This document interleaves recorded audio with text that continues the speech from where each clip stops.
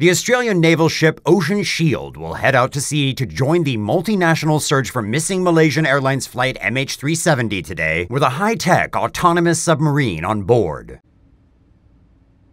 The Bluefin 21 autonomous submarine measures 0.6 meters by 4.93 meters and weighs 750 kilos.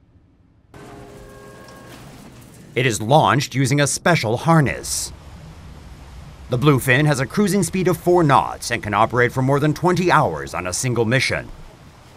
Operating at depths of up to 4,500 meters, the Bluefin scans the ocean floor using a multi-beam echo sounder, side scan sonar, as well as a high-definition camera and magnetometer. The Bluefin is capable of scouring 100 kilometers of ocean bed per day. It has now been 23 days since flight MH370 disappeared. Authorities fear the 30 day life of the plane's black box flight recorder locator beacon will expire before the search equipment arrives in the new search area.